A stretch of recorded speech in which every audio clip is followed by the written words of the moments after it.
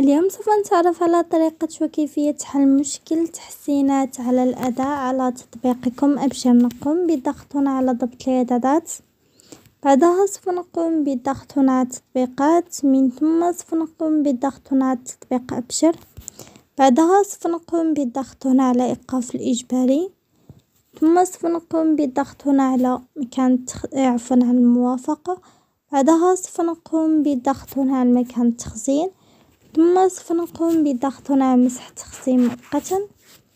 من ثم سوف نقوم بالذهاب إلى متجر جوجل وهنا سوف نقوم بالبحث عن تطبيق أبشر سوف يظهر على هذا الشكل. وعندما تجدون هنا تحديد قم بضغط عليه وسيتم تحديد تطبيقكم أبشر بهذه الطريقة نكون قد قمنا بحل المشكلة. عفوا بحل المشكلة. ولا تنسوا الضغط على زر لايك والاشتراك في القناة.